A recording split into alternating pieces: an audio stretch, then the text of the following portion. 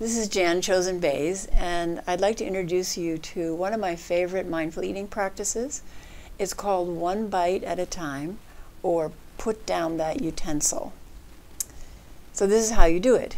You start to eat, and whatever utensil you're using, a fork or a spoon, you take one bite, and after you've put that bite in your mouth, you put the utensil down and you take your hand away from it.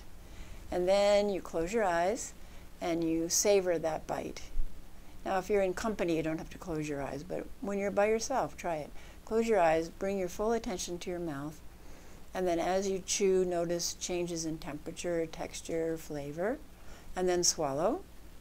And once you've swallowed, then and only then can you pick up your utensil again and take another bite. And then put your utensil down. And here at the monastery, we actually put our utensil down facing away with the handle facing away. And that's because if anybody who was hungry came before us, we would offer it, offer it to them. So you take your second bite and you put down your utensil. And then if you're in company, you can keep your eyes open, but bring your awareness to your mouth. Savor, notice changes, swallow, and then the next bite. So the thing to notice uh, as you're doing this is various ways of cheating. this is basically a practice having to do with impatience.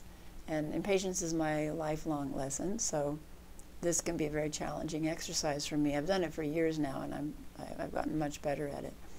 But there are various things that I know notice my hand doing, uh, kind of automatically. If my mind wanders off what I'm doing, then my hand will reach in and start to get another bite, or um, it will put another bite in before I finish swallowing, or I'll rush to swallow so I can put the next bite in. All kinds of things you'll notice as you're doing this practice of one bite at a time. The opposite of this, the mindless way we eat, if we're not doing one bite at a time, is called layering.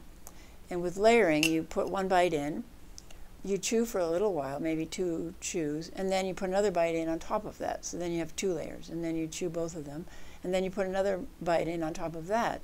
So often you'll discover, oh, I've got two or three layers in there that I'm processing, and that's actually interesting to discover. And, and then to figure out how does my mouth uh, manage all of that? How does it decide when to swallow?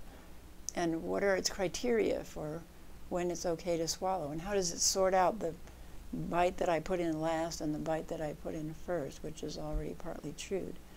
So that itself can become uh, a subject of investigation rather than uh, letting the inner critic inv invade and say, oh, you stupid idiot, you did it wrong.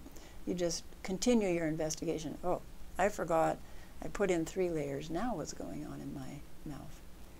So mindful eating is all about curiosity and investigation and discoveries. So please try one bite at a time and see what you discover.